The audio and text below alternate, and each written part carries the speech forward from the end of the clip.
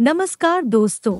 इस वीडियो में हम डिस्कस करेंगे कि एम्बेटा टैबलेट का उपयोग किन कंडीशंस में किया जाता है। एम्बेटा टैबलेट को कैसे लेना चाहिए और एम्बेटा टैबलेट की वजह से क्या साइड इफेक्ट्स हो सकते हैं। और यह भी डिस्कस करेंगे कि एम्बेटा टैबलेट को लेते समय क्या क्या सावधानियाँ रखनी चाहिए। एम्बेटा एक ब्रांड नेम है। एम्बेटा टैबलेट के अंदर सॉल्ट कम्पोजिशन मेटोप्रोलोल होता है। एम्बेटा टैबलेट 25 एम व 50 एम की स्ट्रेंथ में अवेलेबल है। एम्बेटा टैबलेट एक बीटा ब्लॉकर ड्रग क्लास की दवा है। बीटा ब्लॉकर दवाइयाँ दिल की धड़कन को धीमा करती है और शरीर में ब्लड वेसल्स को रिलैक्स करके ब्लड के सर्कुलेशन को बढ़ावा देती है और ब्लड प्रेशर को कम करती है। एम्बेटा टैबलेट का उपयोग हाइपरटेंशन होने पर यानी ब्लड प्रेशर अधिक होने पर माइग्रेन के सिरदर्द को रोकने के लिए और एंजाइना को रोकने के लिए भी एम्बेटा टैबलेट का उपयोग किया जाता है। एंजाइना होने पर हृदय तक ब्लड का सर्कुलेशन कम हो जाता है, जिसकी वजह से छाती में दर्द होने लग जाता है। जिन व्यक्तियों को दिल का दौरा पड़ चुका है, उन व्यक्तियों में दोबारा दिल का दौरा पड़ने के जोखिम को कम करने के लिए भी डॉक्टर एम्बेटा टैबलेट को लेने की सलाह दे सकते हैं। इसके अलावा दिल की धड़कन अनियमित होने पर भी एम्बेटा टैबलेट का उपयोग किया जाता है।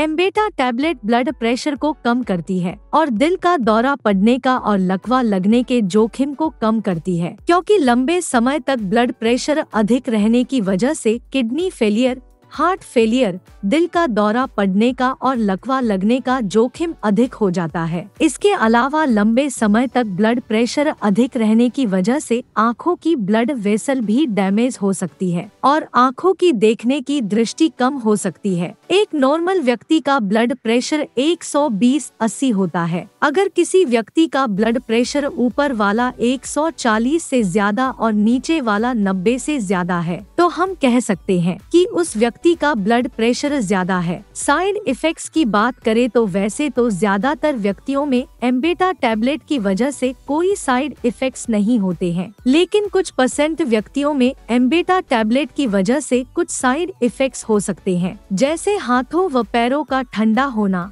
शरीर में थकान व कमज़ोरी होना, सिर चकराना, वज़न का बढ़ना, सांस फूलना, सिर दर्द होना, पेट में दर्द होना दिल की धड़कन का धीमा होना नींद न आना और डिप्रेशन होना आदि साइड इफेक्ट्स एम्बेटा टैबलेट की वजह से हो सकते हैं। लंबे समय तक एम्बेटा टैबलेट को लेने से पुरुषों में इरेक्टाइल डिस्फंक्शन भी हो सकता है। इरेक्टाइल डिस्फंक्शन यानी पुरुषों का सेक्स के लिए तैयार न हो पाना। अब हम डिस्कस करेंगे कि एम्बेटा टैबलेट को कैसे लेना रिकमेंडेड होता है। एम्बेटा टैबलेट को खाना खाने से पहले भी लिया जा सकता है और खाना खाने के बाद भी लिया जा सकता है। आम तौर पर 18 साल से अधिक उम्र के ज़्यादातर व्यक्तियों को डॉक्टर एम्बेटा 25 एम टैबलेट या एम्बेटा 50 एम टैबलेट को दिन में एक ही बार लेने की सलाह देते हैं। एम्बेटा टैबलेट को हर रोज एक निर्धारित समय पर लेना रिकमेंडेड होता है। एम्बेटा टैबलेट की डोज उम्र,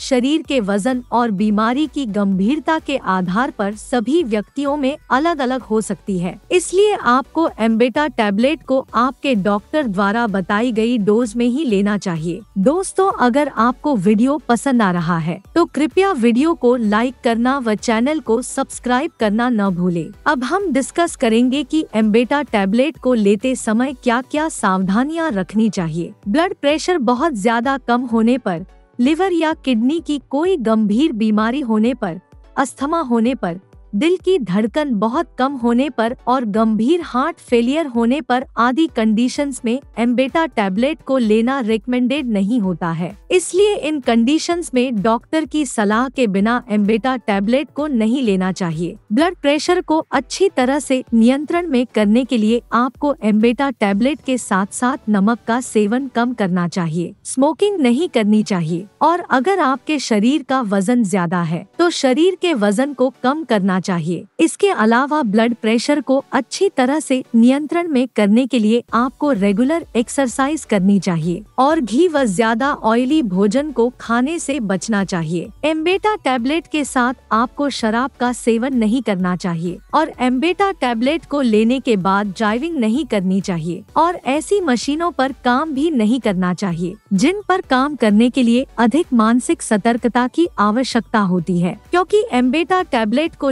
लेने के बाद कुछ व्यक्तियों की मानसिक सतर्कता प्रभावित हो सकती है। एम्बेटा टैबलेट को डॉक्टर की सलाह के बिना लेना बंद नहीं करना चाहिए, क्योंकि डॉक्टर की सलाह के बिना एम्बेटा टैबलेट को बंद करने से दिल से संबंधित समस्याएँ गंभीर होने का या दिल का दौरा पड़ने का जोखिम अधिक हो जाता है। वैसे प्रेग्नेंट महिलाओं के लिए एम्बेटा टैबलेट का सेवन करना रिकमेंडेड नहीं है, लेकिन ज़्यादा ज़रूरत पड़ने पर डॉक्टर प्रेग्नेंट महिलाओं को एम्बेटा टैबलेट को लेने की सलाह दे सकते हैं और एम्बेटा टैबलेट माँ के दूध में थोड़ी सी मात्रा में निकलती है। लेकिन इसकी वजह से दूध पीने वाले बच्चे में अभी तक कोई साइड इफेक्ट्स नोटिस नहीं किए गए हैं। इसलिए ज़रूरत पड़ने पर डॉक्टर स्तनपान करा रही महिलाओं को एम्बेटा टैबलेट को लेने की सलाह दे सकते हैं। वीडियो को देखने के लिए आपका धन्यवाद। अगर आपको वीडियो पसंद आया तो प्लीज़ वीडियो को लाइक कर देना। चैनल को सब्सक्राइब कर लेना। और अगर आपका एम्बेटा टैबलेट से संबंधित कोई प्रश्न है